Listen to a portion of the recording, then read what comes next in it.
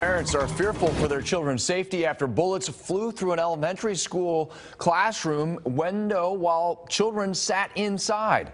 Some of them are used to the gunshot and the violence, you know, but that's bad because you know they, they don't have they shouldn't have to live like that. Sky Action News Jax flew over the scene as parents arrived on campus to sign their kids out of class early. I'm John Bachman. I'm Tenikka Hughes. Action News Jax is first to alert you when we learned those shots were fired near St. Clair Evans Academy on our mobile app. We brought you live coverage on air when the lockdown at that school was lifted. Action News Jax Courtney Cole live outside of St. Clair Evans in Moncrief. And Courtney, you saw several parents picking their kids up early from school.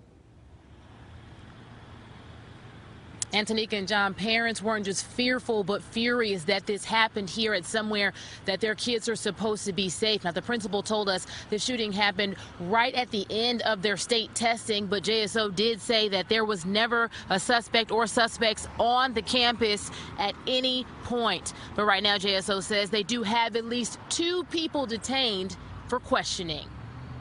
I don't like the situation that we've been put in, you know, because of the, the crime and the way things are going, you know. Ricky Dorsey was just one of the many who had to pick up his granddaughter earlier than expected today here at St. Clair Evans Academy. This came after parents and guardians were notified by the Duval County School District about a shooting that happened in the area of 45th and Moncrief. It always happens all the time, so it's not, it's not unusual. JSO told Action News Jax a school officer called in reports of hearing gunshots around 11.05 this morning. Three bullets went into a classroom where students were doing FSA testing.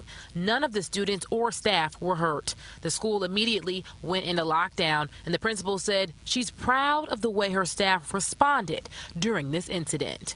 I want parents to know that we have actual heroes.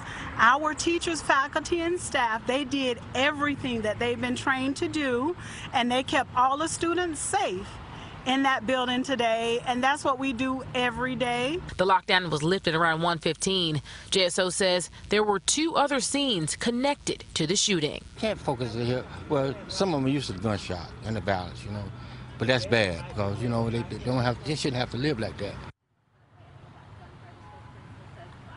And parents, just in case you're wondering, the principal said that school will take place as usual tomorrow and that it is safe to bring your students back. Now, as we were out here for the last couple of hours, we've been speaking to you and some of you wanted to know why there was such a delay with the school contacting you. We'll have those answers for you coming up next on Action News Jax at 6. Reporting live in Moncrief, Courtney Cole, CBS 47, Action News Jax.